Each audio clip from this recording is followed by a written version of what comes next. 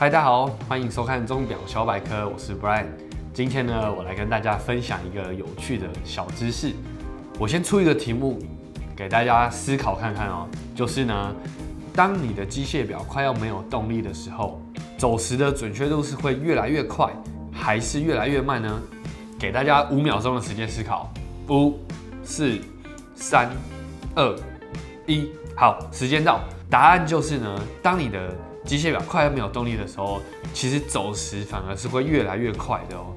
那为什么会这样呢？以我们的直觉想法，就是东西快要没电或者是快要没动力，应该是越来越慢啊，怎么会越来越快呢？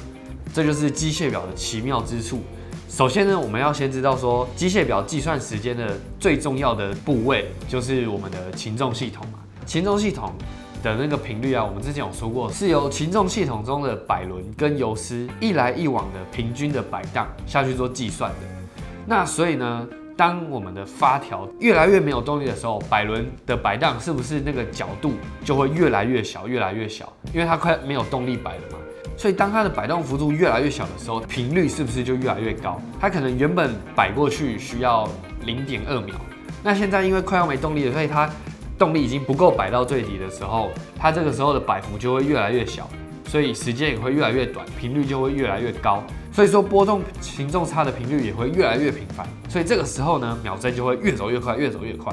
好，那现在因为大部分的机芯都有配备自动上链的系统，所以其实这个现象对我们来说平常会比较少看到。那就算是手上链的机芯，或者是你平常低动力的时候，那个时段其实也都不会到很长，所以一般人就比较不会注意到这个现象。好，那反而石英表呢，就是比较符合我们一般直觉的认知，就是当石英表越来越没电的时候啊，因为能量越来越少，它的频率反而会降低。那所以石英表快要没电的时候，反而就会越走越慢，越走越慢。现代的人啊，如果是机械表啊，大部分都是自动上链嘛。即使是手上链的话，处于低动力的时候，其实那个时段也非常的小，所以一般我们也比较不会去注意到。